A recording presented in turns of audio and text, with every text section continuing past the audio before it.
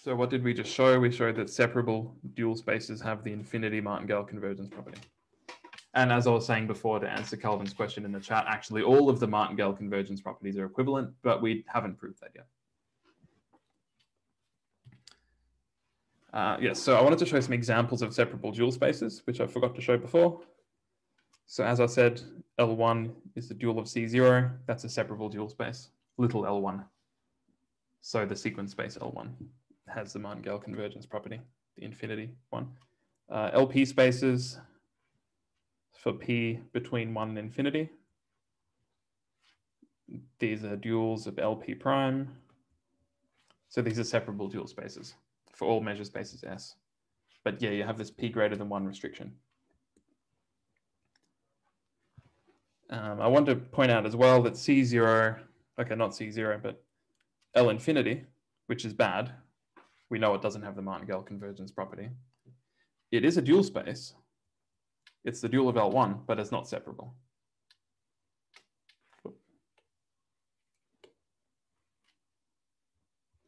So the separability is the obstruction for L infinity, not the, it, it is a dual space, but it's not separable. You need both of these properties. Okay. So let's move on. Uh, separability seems pretty important, but it's not necessary. At least it's not necessary for proving martingale convergence properties. One property that separability does come in, we need a lemma. Given P, the P martingale convergence property is what's called separably determined.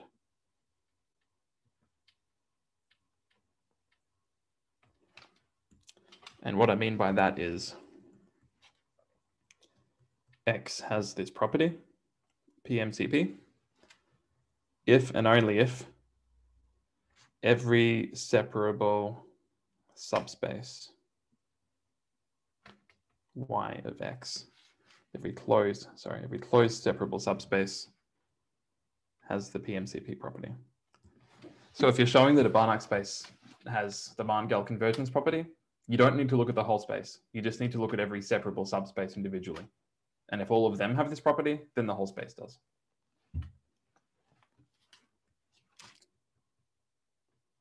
And in the interest of time, I'm going to do the proof really quickly because the proof is not really that interesting. One direction is sort of clear. If X has a martingale convergence property, all of its subspaces do. Okay, fine. In particular, all of the separable subspaces do. That's the only if direction. The if direction, which is the more interesting one, deducing that X has the martingale convergence property from the corresponding property of all of its separable subspaces? Well, take, take an X valued martingale.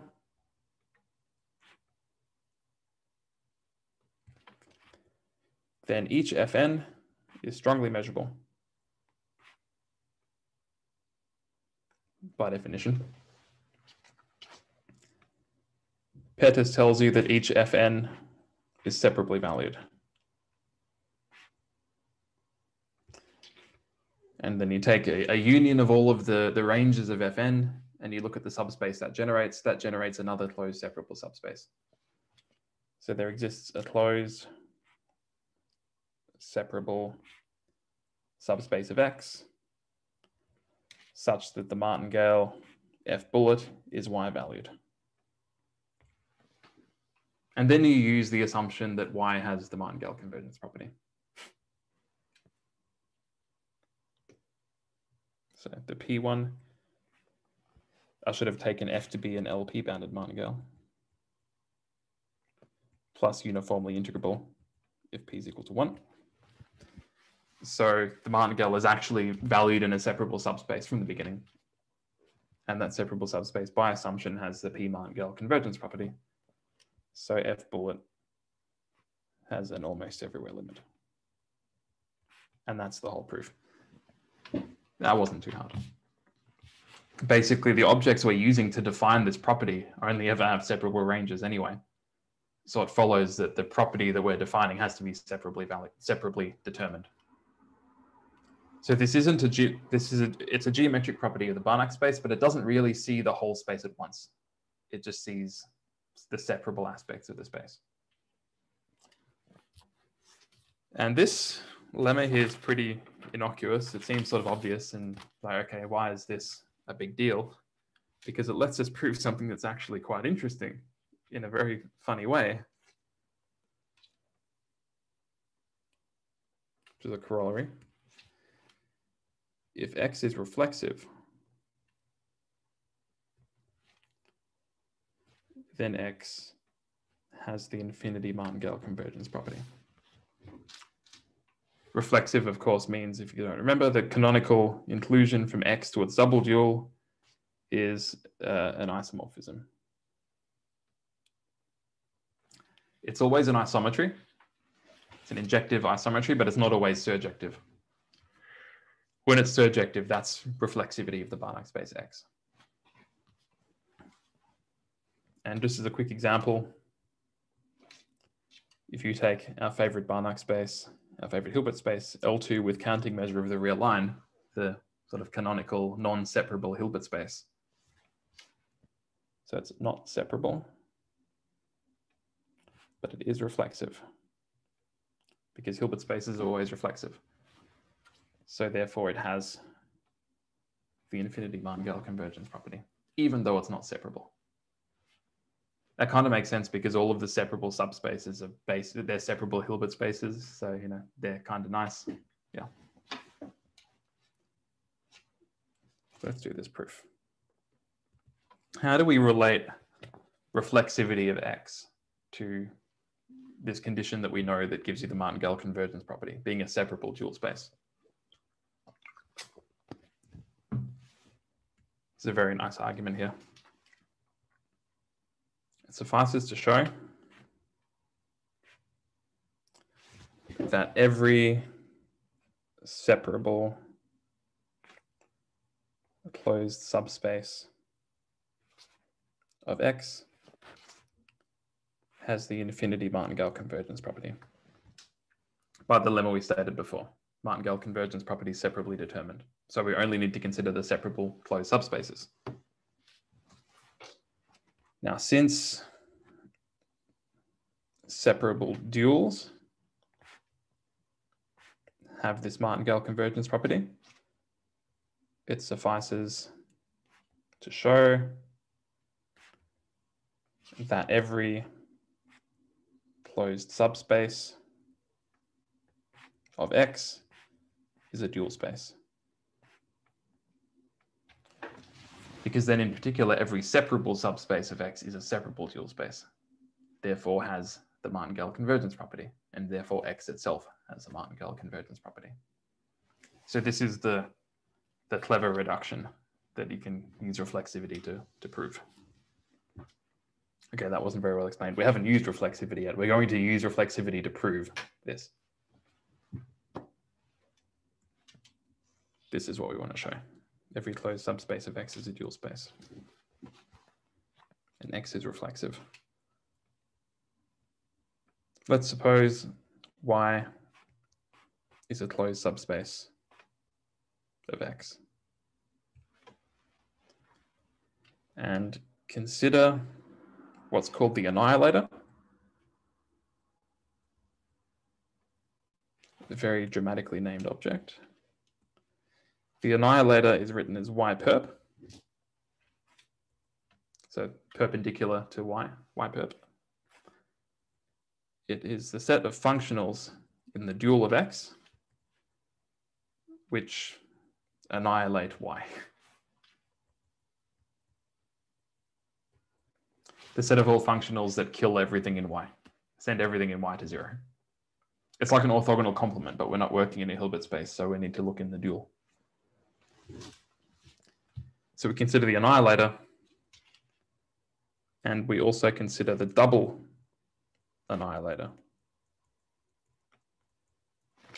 which is the, is the annihilator of the annihilator. Oops, wrong color. This is y perp perp. And if you were in a Hilbert space, you would think this is the space we're starting at, you know, the orthogonal complement of the orthogonal complement. But we're not in Hilbert spaces. So this is the annihilator of y perp.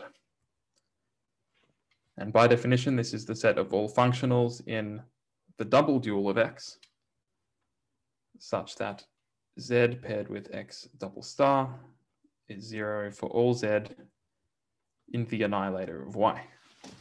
So all of the functionals in the double dual of x that annihilate everything that annihilate everything in y. Okay, easy.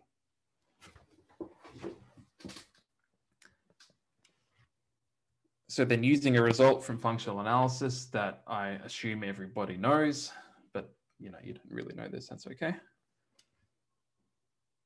Then the double annihilator of y is isometrically isomorphic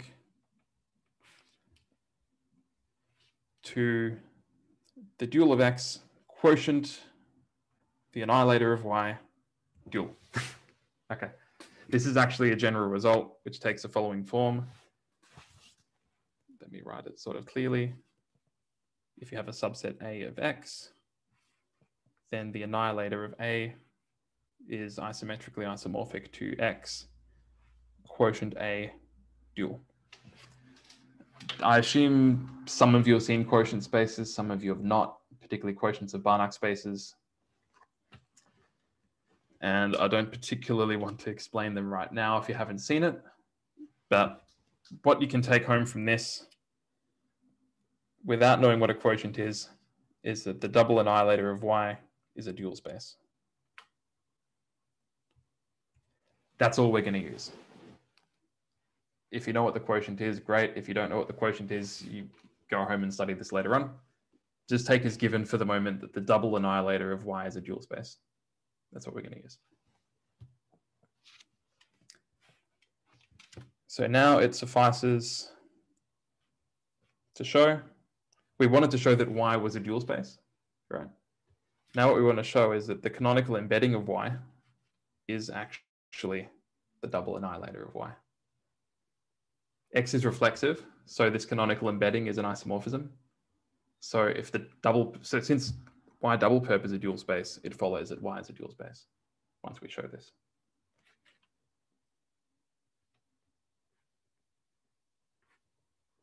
And that would, this is our goal to show that Y is a dual space. So we've reduced it to showing that the canonical embedding of Y is the double annihilator. Now we prove this by proving the two inclusions of the left-hand side into the right-hand side or the right-hand side into the left-hand side. So first we show that the canonical inclusion of y is contained in the double annihilator. This basically comes from the definitions. It's not too hard to show, but let's unpack it. For all z in the annihilator of y, uh, and for all y in y, when you pair z against the canonical inclusion of y, what we need to do is show this is zero. Because this would say that everything that's all of the embedded vectors y annihilate everything that annihilate everything in y. we want to show this is equal to zero. By definition of the canonical inclusion, this is the pairing of y against z and Z kills everything in Y. and Y is in Y. So that's zero. I really like this proof. It's really simple, but this just goes to show like the definitions are just nicely compatible. So we're done there. The harder part's the other direction. Everything that is in the double annihilator of Y was actually just in Y to begin with, up to the, up to J, up to the canonical inclusion. And we prove this indirectly. We suppose that we have a functional x double star that is not in the canonical embedding of y. And we will show that this vector is not in the double annihilator of y. So then by contrapositive, if x double star is in y double perp, then x double star is in j of y, which is what we need to show. So we're doing a contrapositive here. So this x double star is given. It's not in the inclusion of y. What we need to do is we need to find a functional that's in the annihilator of y such that x double star does not annihilate this functional. And I find this is the point of the proof where your brain starts to, to go to sleep. we want to show, what do we want to show? We want to show that x double star is not, that we want to show that x double star doesn't annihilate everything that annihilates y. So we need to find a thing that annihilates y and show that x double star does not annihilate that.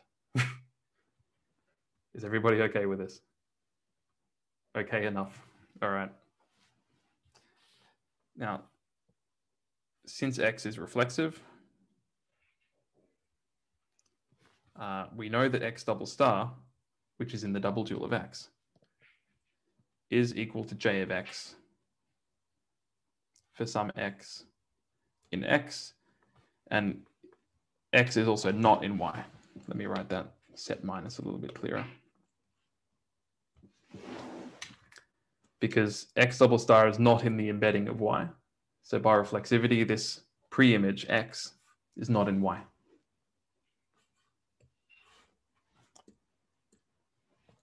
Okay. Now, what do we want to do? We need to find a functional. And whenever you find yourself needing to find a functional, you use Hahn-Banach because Hahn-Banach gives you functionals, right?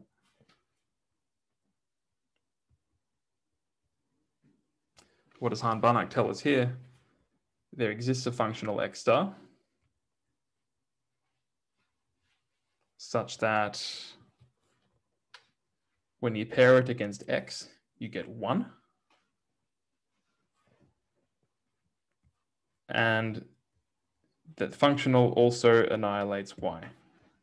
This is using that x is not in y. So you've got y, some subspace, and you've got the vector x. And you can use functionals to, to do that separation, right? You can get a functional that's one on this vector and kills everything in that subspace. So this is our functional x star. And we needed to find a functional in y perp, so we've, we've done this first condition here. And we need to show the other condition there. So what is this? X double star is J of X. That's how we chose X. By definition, this is X against X star. And by construction, this is one. And because everything is reasonable, one's not zero. And that's the second condition we needed to show.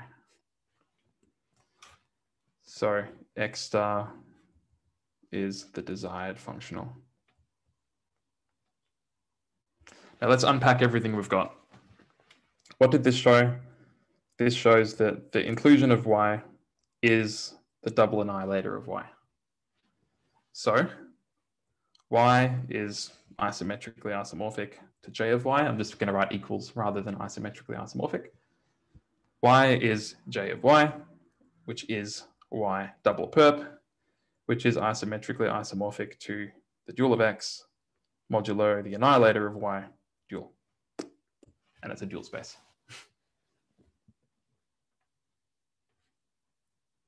And just to go back to the very beginning, therefore every subspace of X is a dual space, which tells us in particular that every separable subspace of X is a separable dual space. And you can replace is a separable dual space with has infinity Martingale convergence property. So now every separable subspace of X has that Martingale convergence property and therefore X itself has the Martingale convergence property, which is what we wanted to show. And all we used was that X was reflexive. There we go, that's nice. And all the nice Banach spaces are reflexive. So in particular, all the nice Banach spaces have this martingale convergence property.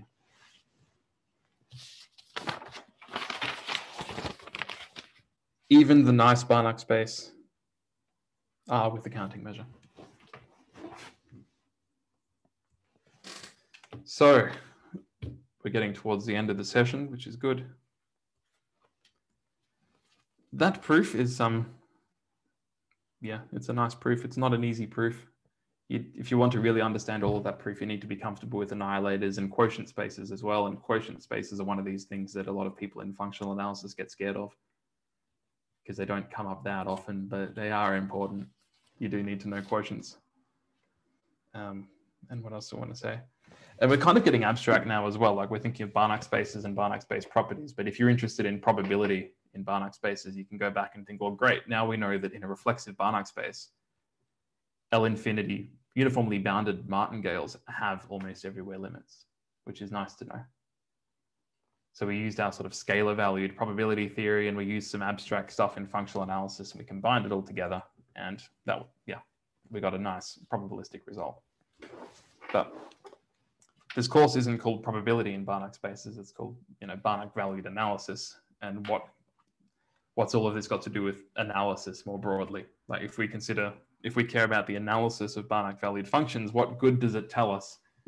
What, why do we care that reflexive Banach spaces have a martingale convergence property? What's so good about martingales? Why do we want them to converge? Because, as I've said before, the martingale convergence property is equivalent to a different property, the Radon-Nikodym property, and that's got way too many different equivalent characterizations, and it's we do need to know that our Banach spaces have that property for Banach valued analysis. So I'll quickly introduce this property in the last minutes.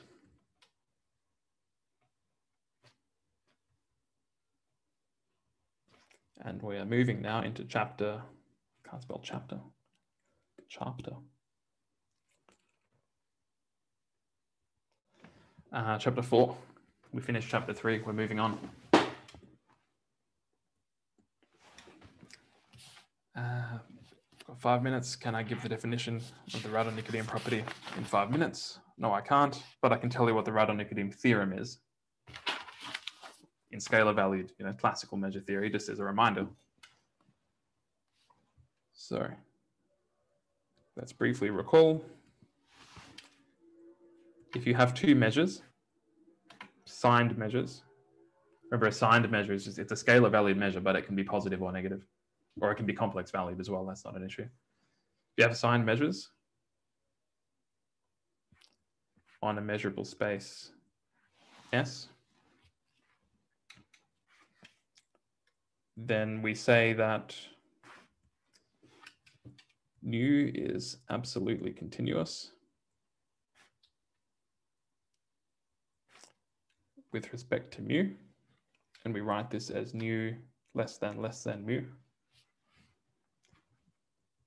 If for all a in the sigma algebra such that mu of a is zero, so a's got zero mu measure, it follows that nu of a is also zero.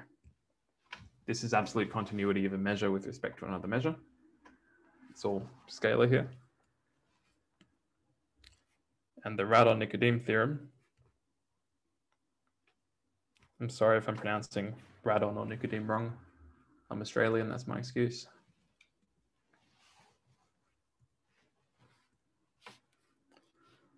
Uh, consider a sigma finite measure uh, measure space. So I've got a measure mu, which is sigma finite. I'm, I'm assuming all measures are sigma finite, but I'm just going to point out here that we need sigma finite here. Let mu be a signed measure. So mu is not a signed measure. Mu is just a classical measure. And we take a signed measure nu uh, on A such that nu is absolutely continuous with respect to mu. then the theorem says there exists a unique function h, which is mu integrable, such that the measure, the nu measure of every set A is equal to the integral of h d mu on A. This is for all measurable sets A. We write this as nu equals h mu. Or you might also write h is d mu d mu. So h is what's called the Radon-Nikodym derivative.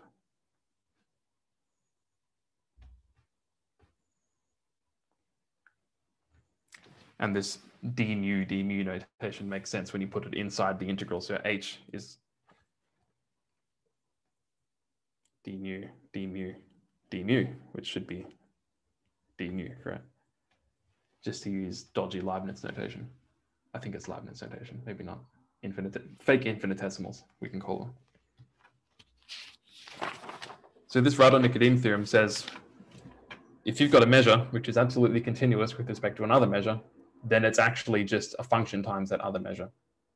You don't have measures that are too wild, you know, if they're absolutely continuous with respect to another one. It's a classification of, of measures with respect to absolute continuity. The Radon-Nikodym property for, of a Banach space will be this theorem, but instead of measures, we're going to have vector valued measures, what are called vector measures. So the measure of a set, say mu of A, will be well, will be a vector in a Banach space X. So we're going to have vector measures.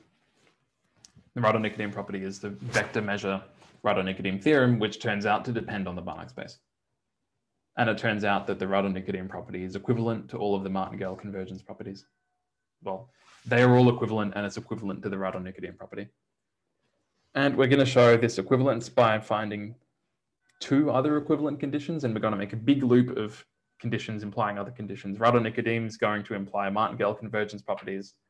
They're going to imply the non-existence of bounded separated trees. That's going to imply that every bounded subset is what's called dentable, which is a geometric condition. And that's going to imply the Radon-Nikodym property. So all these properties are going to be equivalent. And later on when we do, and these will, this will also be equivalent to the duality property of Bochner spaces that the dual of the Bochner space LP is equal to LP prime valued in the dual, which is probably the most significant application of this property in vector valued analysis, I guess, because we do care a lot about Bochner spaces and knowing what their duals are is important.